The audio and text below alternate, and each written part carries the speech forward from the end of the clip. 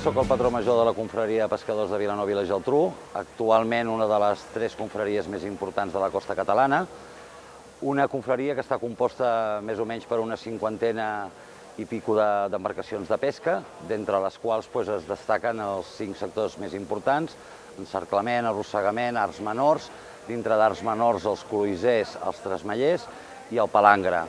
Uh, estem sobre el voltant d'unes 3.500-4.000 tones de captures de peix a l'any i tot això derivat amb una diferència d'unes entre 100 i 125 espècies diferents.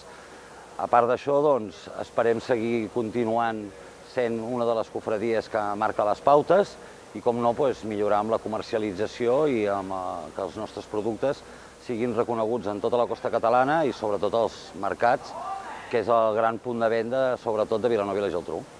Bona tarda, com esteu? Soc la Lola, l'autora d'aquest conte, la Gea Flor de la Posidònia. Avui us presentaré a la Maria, la mare de la Gea, i també us presentaré uns xarops, uns remeis naturals, perquè antigament no, es, no hi havia gaire, no es coneixien gaire remeis de, de, de farmàcia. A llavors, eh, els pescadors el que feien eh, era que ells, ells mateixos fabricaven els seus propis xarops. Eh, hi ha un remei que es fa amb la cigala i aquest, agafaven les, les aletes de la cigala i les, les ponien amb, un, amb, amb oli i això ho feien servir per, la, per el mal d'orelles. Um, doncs avui jo vull presentar-vos un desodorant sense químic um, per, per treballar una mica o apropar una mica no? la, el tema de la bio, biodiversitat. biodiversitat. Uh, els, éssers, els éssers humans estem molt lligats a, al mar, per això és molt important preservar-lo. Uh, llavors, eh, jo avui us presentaré com fer un desodorant sense químic. Necessitem tres ingredients. Uh, bicarbonat, un quart de bicarbonat, un quart de maicena i sis cullerades d'oli de, eh, de coco. Una vegada tenim això, agafem un bol val? i comencem a fer la barrella. Comencem per l'oli de coco, després la maicena,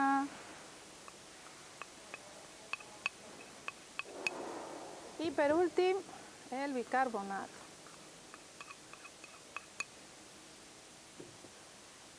Ja ho tenim tot aquí, ara remenem. I es va fent com una mena de pasta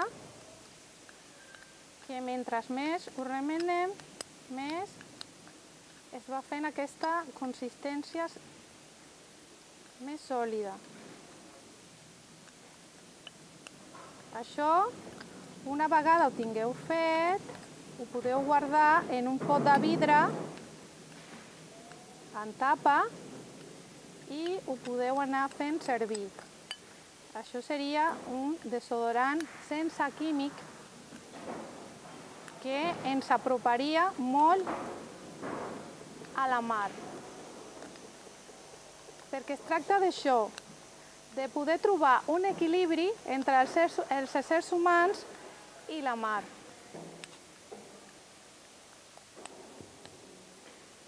Doncs mireu, veus?